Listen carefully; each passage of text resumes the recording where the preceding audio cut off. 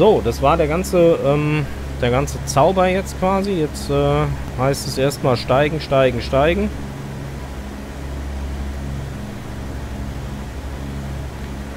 Und dann wollen wir etwa auf unsere Fluggeschwindigkeit von 200 Knoten auf 20.000 Fuß. Das entspricht 260 äh, Knoten Ground Speed. Habt ihr es da hinten gemütlich? Ei. Gut. Irgendwas hat, hat sich hier gerade eingeschaltet und zieht Strom. Mit diesem Druckinstrument bin ich noch nicht so ganz äh, klar, was das will. Ob das einfach den Außendruck misst. Also das ist normal ein Manifold, also ein, ähm, sag schon hier, ähm, Ansaugbrückendruck äh,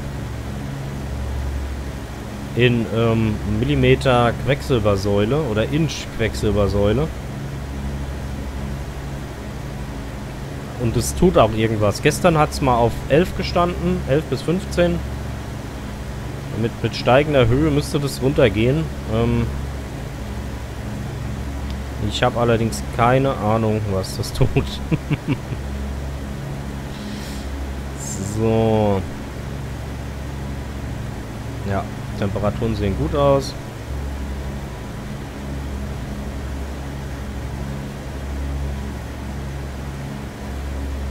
Kurs halten wir auch ganz gut. Äh, mal in Anbetracht, dass wir hier durch, durch die Suppe höchstpersönlich fliegen.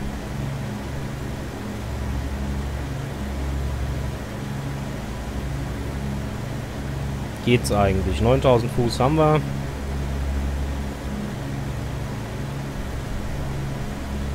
ein bisschen mehr Schmackes geben.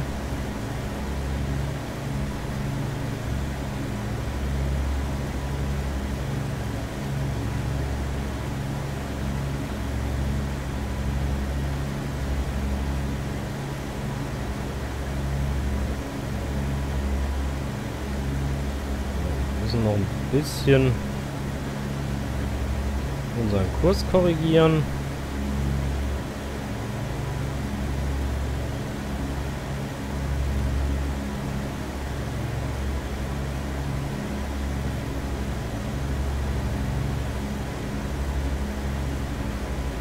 Ah, und dann haben wir auch gleich die Wolken hinter uns gelassen. Das wäre ein Traum.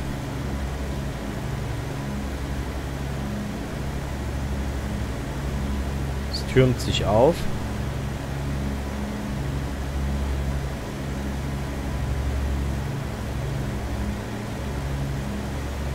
Ach, guck mal da, wie gut.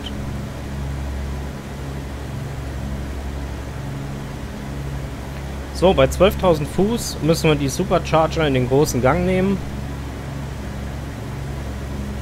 Und dann schlussendlich ähm, Spark Advance lassen wir an.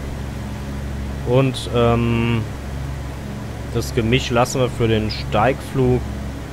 Äh, können wir dann äh, abmagern, auch auf Autolin. Also sprich äh, automatisch äh, mager.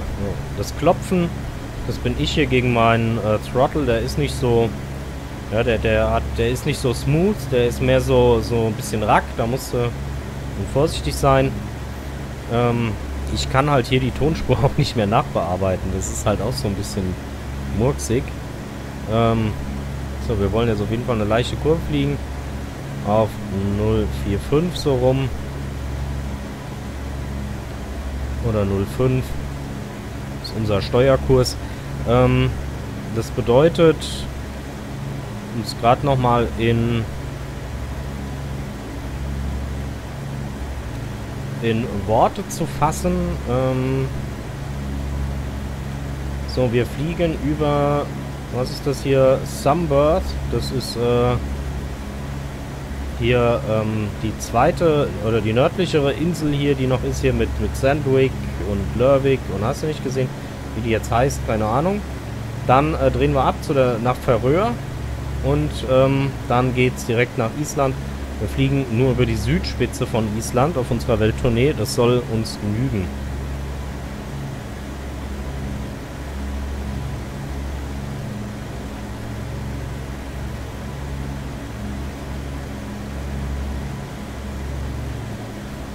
Funkverkehr haben wir halt wie gesagt keinen. Ähm ich will, wie gesagt, auch noch, wie oft ich jetzt schon wie gesagt habe, also wie gesagt gesagt habe, ähm, ich möchte noch in Wetsim üben. Das mache ich nach diesem Flug. Werde ich mal gucken. Wir werden ja zwei, drei, drei Stunden werden wir fliegen mindestens. Ähm so, Moment. Wir nehmen gerade noch ein bisschen Gas zurück. Äh, Manifold Pressure runter. Dann gehen jetzt die Supercharger in den großen Gang. Und dann geben wir wieder ein bisschen mehr Gas. Das sollte uns nochmal den nötigen Bums mitbringen, um unsere Zielflughöhe zu erreichen. Gleichzeitig gehen wir hier an den Mixture Lever. Auto Lean und Lock. So, Drehzahl 2500, die können wir bestehen lassen.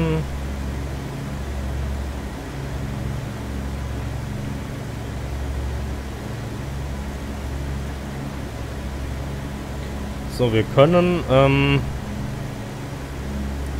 können mal einen Blick nach dem Autopilot werfen. Wir schmeißen mal den Gyro an. Der braucht immer ein paar Minuten, um hochzulaufen. Hier sehen wir die Steuerelemente. Das ist soweit in Ordnung. Dann müssten wir ansonsten, könnten wir hier noch ein bisschen anpassen. Aileron äh, ist ein bisschen out of center, weil wir ja am Steigen sind, aber ähm, die anderen sind alle gut.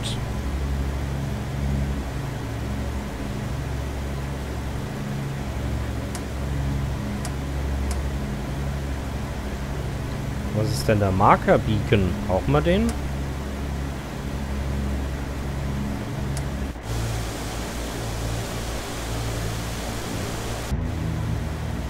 Keine Ahnung. Muss ich schon mal nachlesen, was der macht. Ähm, so, wir müssen zwei Minuten abwarten, bis der Gyro hochgelaufen ist. So, 12.000 Fuß überschreiten wir jetzt gerade. Das heißt, ein bisschen mehr Schmackes auf die Motoren.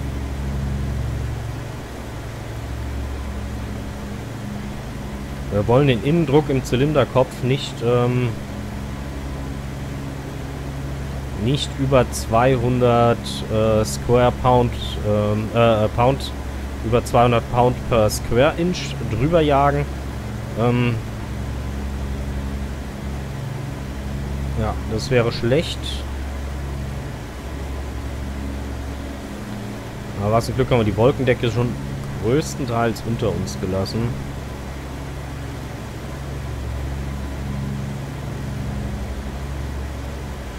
So. Ja, ein bisschen Schlangenlinien fliegen wir, aber das hat auch gleich ein Ende. Eine Minute warten wir noch. Ich weiß nicht, ob der angeht. Aber es hieß zwei Minuten. Ich halte die lieber ein. Ähm dann können wir hier mit dem Servo Engage die ähm, Kontrolle an den Autopilot übergeben. Altitude Control aktivieren wir dann ebenfalls und dann können wir hier über das Rädchen hier climben. Das heißt, wir stellen eine feste Climb Rate ein. Mehr kann der auch nicht. Ja, Richtung, Richtung halten, also geradeaus fliegen. Beziehungsweise mit dem Turn-Knopf hier kann man drehen. Ähm, und er kann dem Funkleitstrahl folgen beim Landen. ja, und das war's auch schon. Beides, finde ich, ist mit Vorsicht zu genießen. Also landen mache ich lieber von Hand, dann, ähm, bis ich mich mit diesem Autopilot mal mehr auseinandergesetzt habe. So, zwei Minuten sind um. Das heißt, wir aktivieren die Kupplung. Muss ich einmal hier runter, weil nicht, dass ich hier den Hebel anschmeiße. So. Der hat dann die Tendenz, erstmal so einen Schlenker zu machen.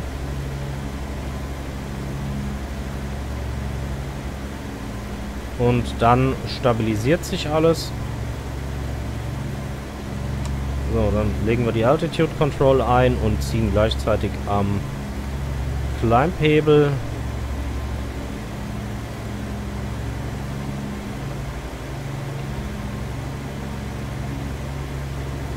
Ziehen gleichzeitig am Climb-Hebelchen.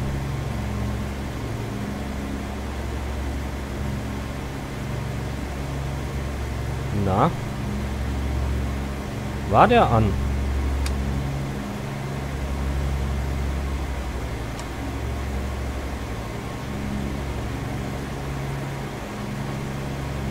Anscheinend muss der erst ein bisschen Tempo fahren, ich weiß es nicht. Oh, die Landing Lights brauchen wir jetzt nicht mehr.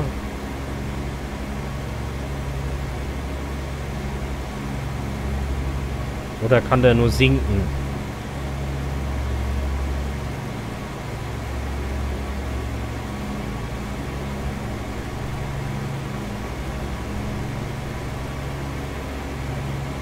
Ne, wir haben ihn jetzt maximal auf Climb gestellt. Ähm, wir haben eine sehr begrenzte Einstellmöglichkeit für den Autopilot. Also bedeutet, ähm, er kann sich nur in einem sehr begrenzten Rahmen hier ähm, im Yoke bewegen. Und der ist jetzt auf Anschlag. Das heißt, wir brauchen eine gewisse Mindestgeschwindigkeit, um wieder zu steigen. Deswegen machen wir jetzt richtig Fahrt. Ähm, Seatbelt und No Smoking können wir abschalten jetzt. Muss mal ein bisschen die Lautstärke runterdrehen. Hier wird es jetzt persönlich zu laut. Ich guck gerade mal ins OBS rein. Da hm, drehe ich die Lautstärke vom Stream mal ein bisschen runter. 60 Prozent. Ich hoffe, das passt. So, und jetzt sollten wir gleich in einen leichten Climb gehen.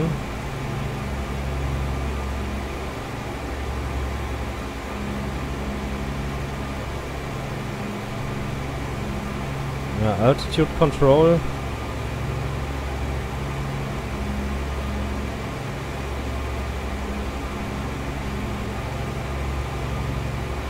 Der macht gar nichts. Ist der an? Der ist an.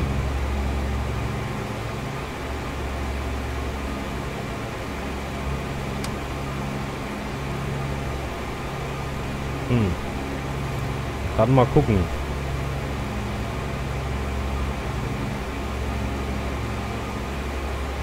So, jetzt ist der Strich in der Mitte.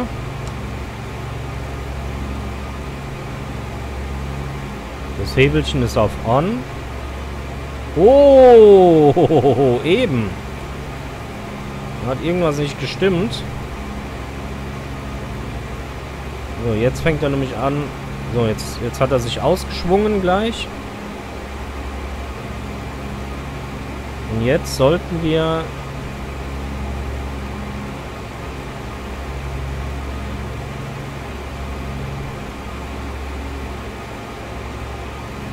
Durch das Drehen am Hebelchen müsste der Yoke jetzt zu uns kommen.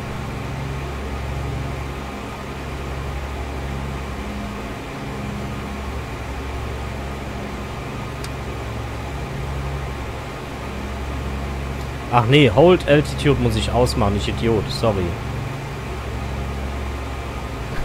Ich Depp, bei Hold hält er ja. So. Ja. Mein Fehler, ich habe den erst einmal benutzt, den Autopilot. So, weil wir wollen ein bisschen Tempo... Also Tempo haben wir ja ordentlich, aber wir wollen jetzt noch ein bisschen Höhe.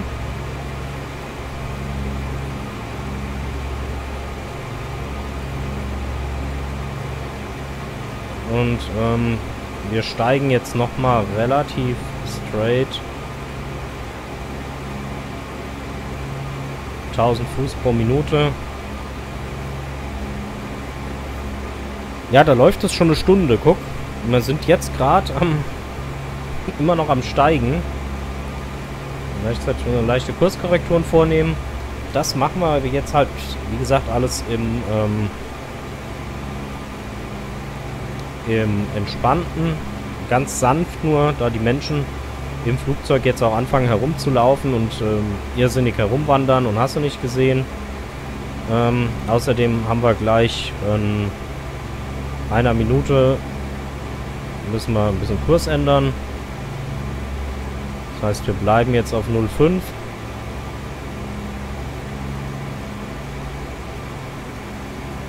So. Gerade mal nach den Motoren gucken. Öl sieht gut aus. Fuel sieht gut aus. Fuel ziehen wir halt momentan 800 pro Maschine durch. Also 800 Pfund pro Stunde pro Motor. So, Left Turn auf 307 steht als nächstes an. 3, 2, 1, now. Dann machen wir das auch.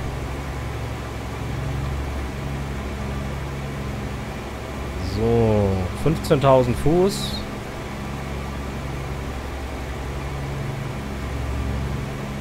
Ich will ein bisschen mehr Climb Rate haben.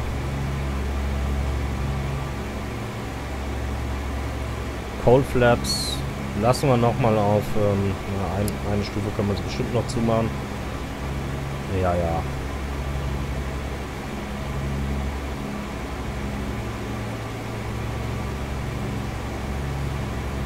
Bisschen die Drehzahl reduzieren.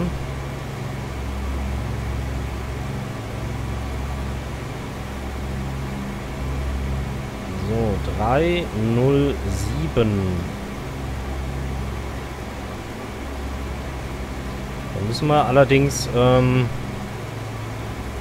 ein paar Grad drüber drehen, da wir uns jetzt schon ein bisschen nach äh, zu weit rechts befinden vom Steuerkurs.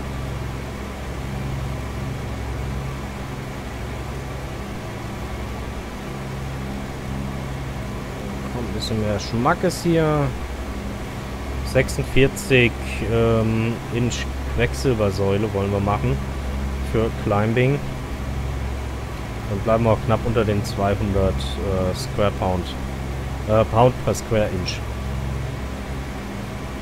So, äh, Kurs ist gleich bei 300. Die werden wir wahrscheinlich anpeilen müssen. 306.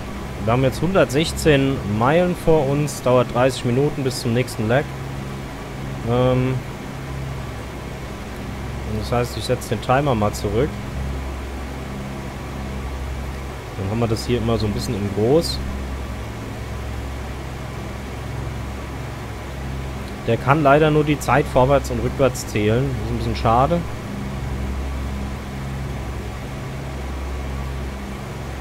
So, 16.000 Fuß haben wir. Kurz mal gucken. Kabinendruck passt. Kabinentemperatur sieht auch gut aus. Ja, alles gut. Ähm, oh ja. Ups. Gerade. Schnabel die Bigs. Jetzt warten wir kurz und dann drehen wir wieder bei auf Steuerkurs 307. So wie hier der Strich anfängt in die Mitte zu wandern. Sehen wir hier, sehen wir es besser. Ja, der ist jetzt bei 3.4. Ist halt außerhalb des Anzeigebereichs. 3.3. Der kommt jetzt so langsam bei. 3.2. Wir wollen, wenn wir jetzt nämlich ein paar Grad zu viel abweichen, dann fliegen wir komplett in eine andere Richtung. Das wäre schlecht. So, 17.000 Fuß. Komm, da reißen wir die Nase noch mal ein bisschen hoch. Mehr Steigrate.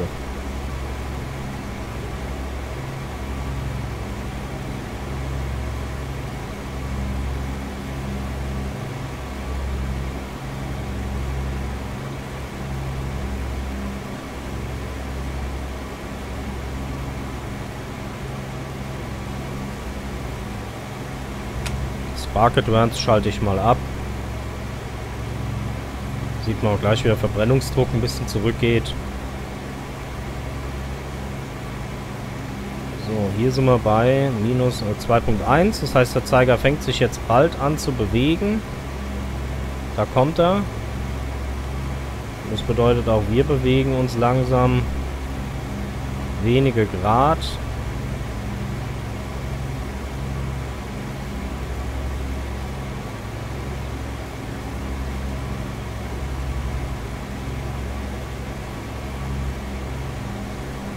dass wir uns jetzt Grad für Grad annähern. Hm, war ich ein bisschen früh, ein bisschen voreilig.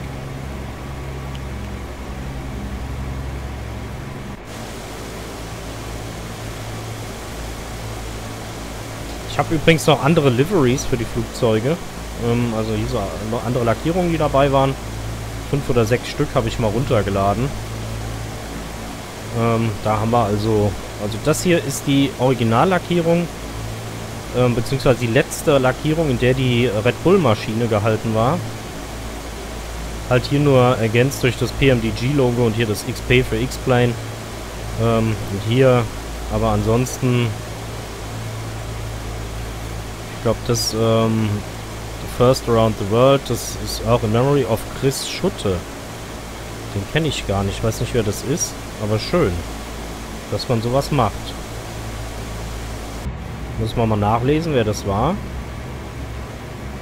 Ich finde das immer nett, wenn, wenn man, was weiß ich, ob das jetzt ein Entwickler war oder ein Pilot. Ähm, ich google den netten Herrn mal, dass wir mal wissen, was der gemacht hat.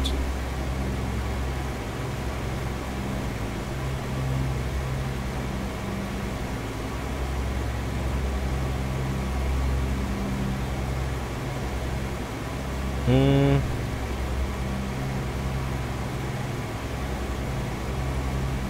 Ja.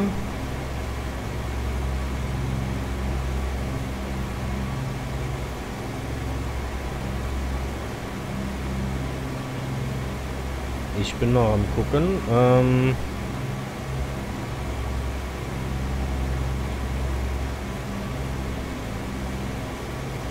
hm.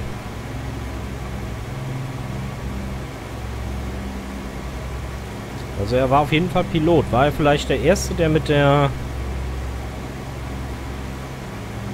Ah ja, hier.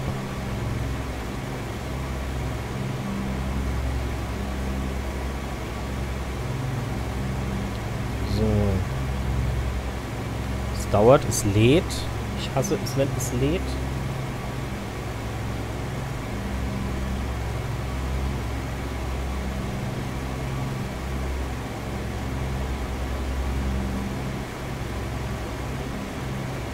Hm.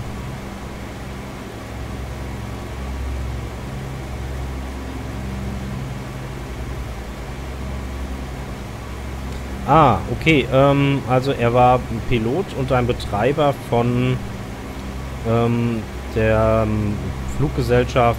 Ah ne, er hat bei der südafrikanischen Fluggesellschaft SAA gearbeitet und ähm, hatte ein Charterunternehmen für ein- und zweimotorige Flugzeuge für Namibia und ähm, ihm ist es quasi zu verdanken, dass die ähm, letzten beiden äh, DC-6 äh, noch existieren. Er hat sich da quasi sehr in die Erhaltung ähm, reingekniet.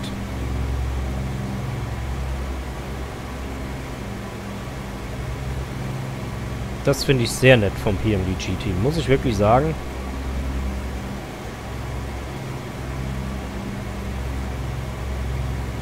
71 ist er gerade mal geworden. 2010 gestorben, der arme Mann.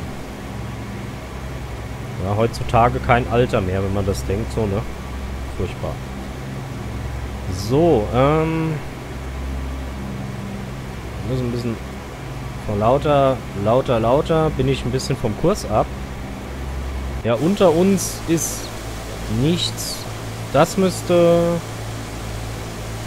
von der Optik her ähm,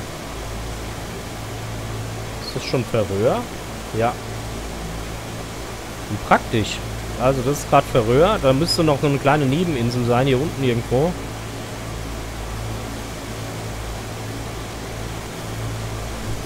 Tja, der Zufall wolltest du.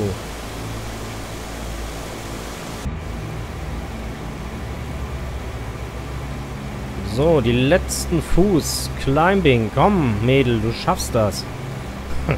Das ist ja... Das ist ja Quälerei. Eieiei. So, mal kurz, bevor wir es wieder übertreiben. Jetzt sind wir nämlich schon 30 Grad wieder drüber gedreht.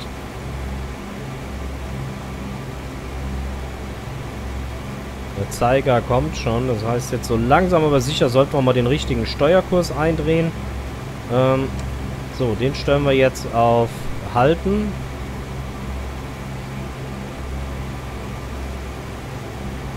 Dann gucken wir, wenn wir 200 Knoten erreichen wollen. Jetzt nehmen wir erstmal hier Verbrennungsdruck zurück. Supercharger auf Low. Cold Flaps Close. Ähm, wir brauchen etwa rund 35 äh, Pound per Square Inch und 2100 Umdrehungen.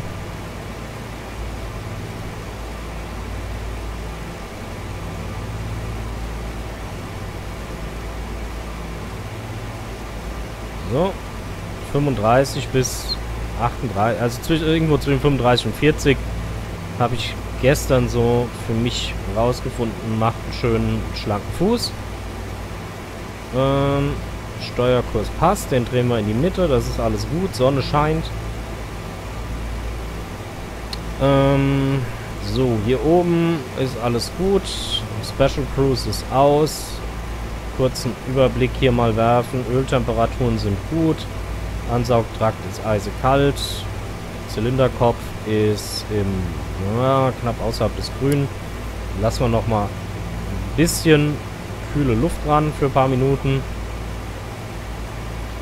So, Fuel Flow, den wollen wir so ein bisschen auf, auf 6, äh, 600 Pound äh, per Hour pro Maschine etwa haben. Fuel und Oil Pressure ist gut. Hier oben gerade mal einen Blick reinwerfen. Alles gut. Hier oben müssen wir aber auf 0 bis minus 40 stellen.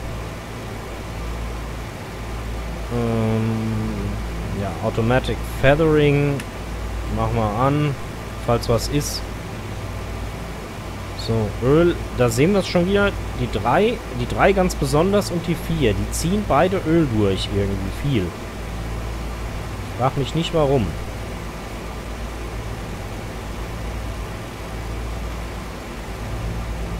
So. Ich glaube, den Button belege ich mal anders. Da langt mir der. Ich wollte ja gerade mal gucken. Ähm, die Wing Heater arbeiten. Alles in Ordnung. Hm, Kevin Heater arbeiten.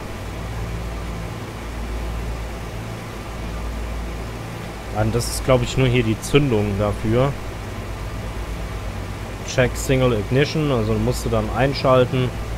Und deswegen hat man das nicht gemacht. Hier sind die beiden Heater-Buttons. Die müssen an. Und der Prop De-Icer, ähm, wo sehe ich den denn? Dann müsste es eigentlich ein Ampere-Meter geben für. Weil das sind die Wing, Cabin Tail, Left Wing, äh, Right Wing, die Fuel Pressures, dass das in Ordnung ist. Pido und Scoop Heater. Ist der da oben? Nee. Auf der 9. Die 9 hatte ich eigentlich umbelegt. Wir gerade nochmal machen. Momentan geht es eh nur geradeaus, weil hier ist ja der Sitz des Navigators. Und dann mache ich das so. So. Bisschen zurück. Dann haben wir nämlich hier so den, den Überblick.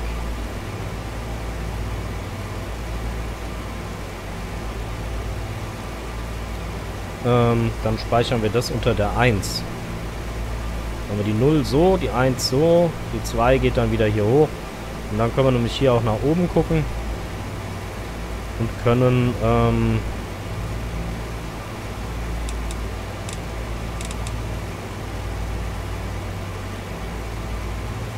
mir hier keinen, ähm, ist komisch. Normal sollte der hier ein paar Amps anzeigen, oder?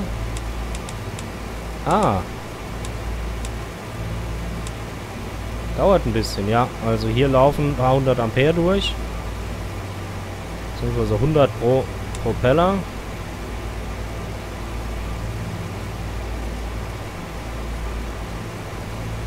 Gut, ähm, wir haben noch eine Viertelstunde etwa auf dem Abschnitt zu fliegen. Tempo nehmen wir jetzt langsam aber sicher auf. Momentan haben wir ähm, 251 Knoten Ground Speed. Ähm, Viertelstunde, sagt er uns jetzt noch. Ja, passt. Richtung, die passt so. Da müssen wir vielleicht noch ein, zwei Mal nachkorrigieren. Äh, wir fliegen auf 307 Grad, also es ist alles Sonne. Gut, ähm, ja. Dann lassen wir das einfach mal so ein bisschen fliegen. Ich hole mir mal eine Tasse Kaffee derweil.